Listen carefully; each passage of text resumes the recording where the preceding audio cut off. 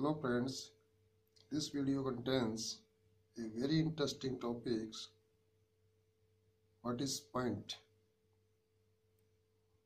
हम आपको पॉइंट के बारे में बताएंगे पॉइंट क्या है it has many confusion most of us know about the point but there is confusion now we will discuss here about point definition point is a dot which has an exact location or position in the space इसका description क्या होगा there are three points you have to learn it number one it has no magnitude it means we can't say that point is this big or that long.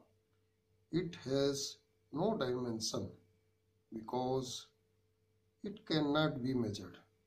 Number three, it has no thickness.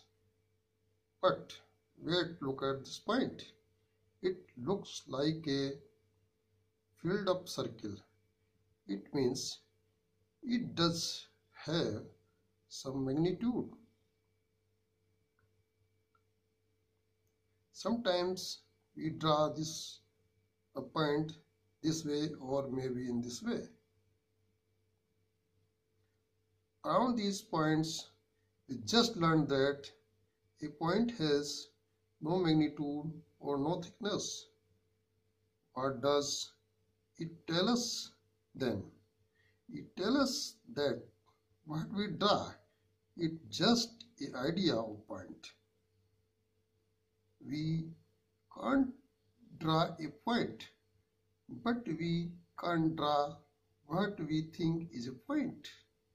Point is represented by a single letter, say point A, and written between inverted commas.